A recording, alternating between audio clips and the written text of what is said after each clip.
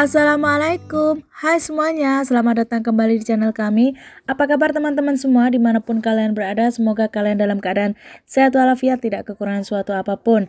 Video kali ini aku mau bikin nasi kuning Tapi aku nggak bikin nasi kuning aja. Di sini aku bikin nasi kuning komplit Karena di samping nasi kuning Aku bikin juga bihun goreng. Terus ada ikan teri kacang Terus ada juga telur dadar dan aku kasih potongan ketimun. Untuk ayam gorengnya biar praktis aku ganti nugget goreng. Kalau kalian penasaran bagaimana cara membuat nasi kuning komplit ala aku yang super enak di India ini, langsung aja jangan ke mana-mana ditonton videonya sampai habis.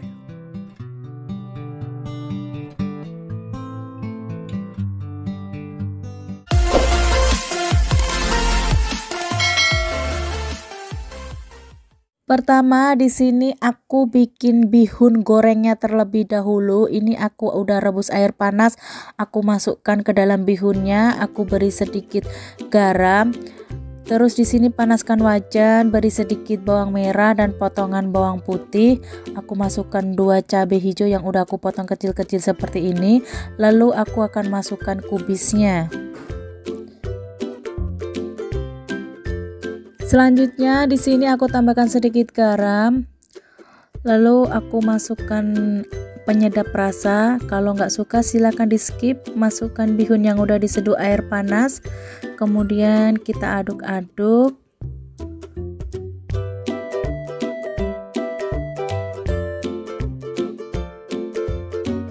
Lalu tambahkan kecap manis. Di sini aku make kecap manis ABC karena cuman ini yang bisa didapat di India.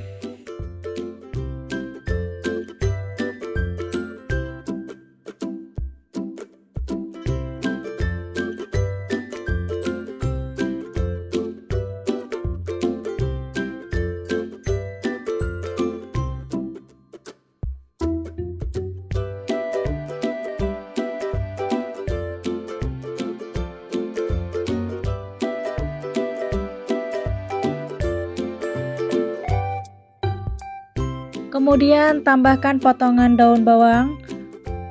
Jangan lupa diaduk kembali, dimasak selama 2 menit. Dan ini bihun gorengnya udah siap untuk pelengkap nasi kuning. Kemudian aku akan bikin telur dadarnya. Di sini aku pakai dua buah putir telur dadar. Aku beri sedikit garam dan akan aku kocok lepas seperti ini. Lalu siapkan penggorengan, beri sedikit minyak goreng. Ini telur yang udah dikocok akan kita goreng seperti ini.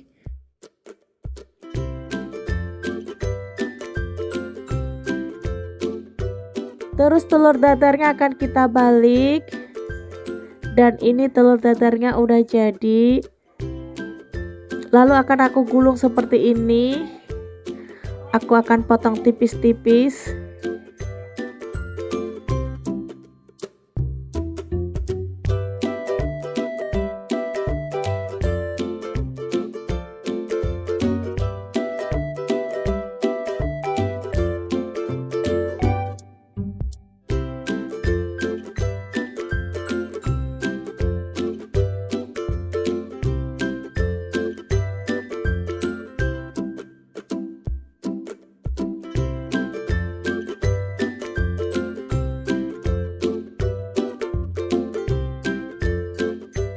Ini telur dadarnya udah jadi buat pelengkap nasi kuningnya. Kemudian di sini akan aku siapkan ketimun. Ini udah aku lepas kulitnya dan aku cuci bersih dan aku potong-potong serong seperti ini.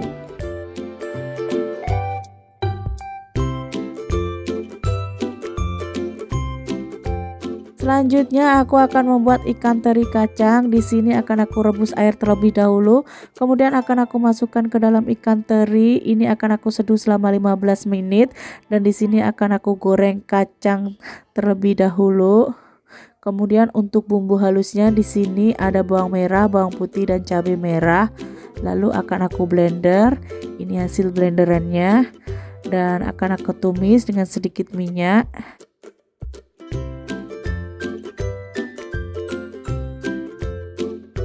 Beri sedikit air. tambahkan sedikit garam dan kaldu ayam atau kaldu jamur. Kemudian kita akan masukkan ikan teri yang udah digoreng dan kacang tanah yang udah digoreng. Kemudian beri sedikit gula pasir, jangan lupa diaduk kembali, masak selama 2 menit dengan api yang sedang dan ini ikan teri kacangnya udah siap disajikan untuk pelengkap nasi kuningnya.